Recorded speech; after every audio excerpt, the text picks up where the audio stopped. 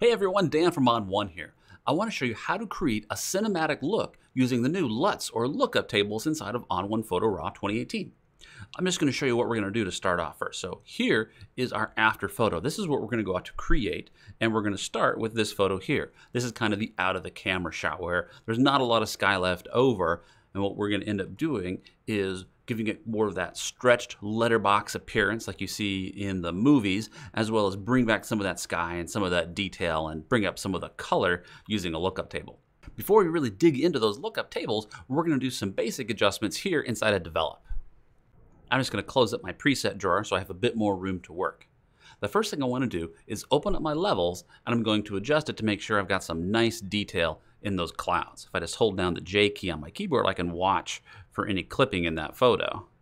So there, I'm just going to pull this back until I make sure I've got good detail in the clouds. I'm going to go back just a little bit, bring my highlight slider down a little, and I'm also going to use my haze slider. The haze slider will help cut through some of that haze, really bring up some of the detail and the color in those clouds.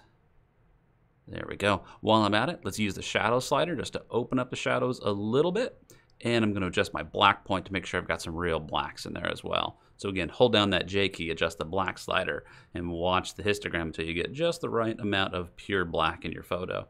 I'm looking for just a little bit of those deep dark shadows. That's looking better. There's a couple little distractions. I'm just going to grab the perfect eraser tool, and I'm just going to erase over these two little distracting trees. There's one right there, and one right here. All right, now it's time to create that cinematic look. I'm going to jump over to Effects. And now I'm going to open up that preset drawer on the left, and I'm going to click over here on the Filters tab. You notice there's a category for lookup tables. Now, we come with like 60 different cool lookup tables to get you started, but there are a ton more available on the On1 website. I'm going to show you how to go get those and how to install them. So I'm just going to jump out of Photo Raw and jump over to my web browser real fast. So I'm here at the On1 website.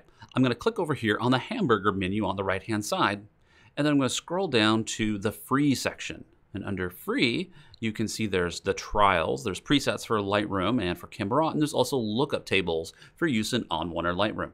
I'm just going to click on those free lookup tables.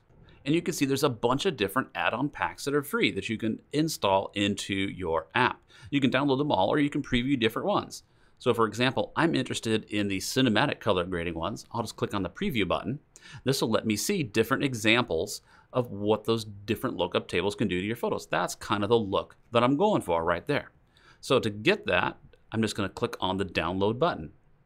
When I click on that, it's going to send me an email with the download links for all those different lookup tables.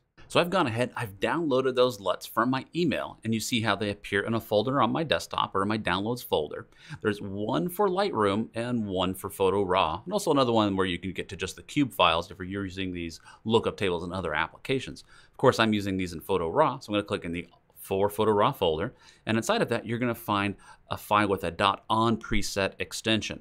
That is a preset bundle. It includes all of the lookup tables and the presets that go along with them. All I do is double click on that. It'll ask me if I want to install that preset package. Just say yes. And there you go. Now it's installed those guys. I've put them inside of my On1 LUTs category. And right down here, there's the On1 Cinematic Looks. Now all I do is pick one that I like. I'm going to use the QuickView browser to make that a little bit easier. I click this button up here and I get a much larger preview of those on my photo. I could even use the slider down here at the bottom to make those even bigger. I'm going to make these four wide so I could really look for what I'm looking for. I kind of like this really warm look right here, this lava lamp preset. There we go. That's added that lookup table right here. I can tweak its appearance by using the opacity slider to control how strong it is applied. I'm going to go for about 70%. There's also a contrast and a saturation control that I can use as well. I'm going to bring the saturation up just a little bit.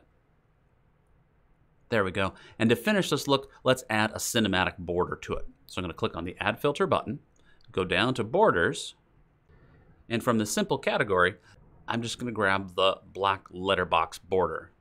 There we go. Letterbox is going to change the proportion of my photo to more of that 16 by 9 movie look.